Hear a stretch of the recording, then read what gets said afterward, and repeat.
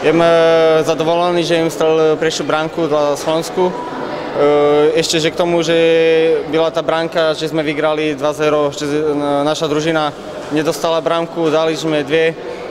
Byl to ťažký meč, pierwszy v sezóne a je, je dobré, že sme vygrali.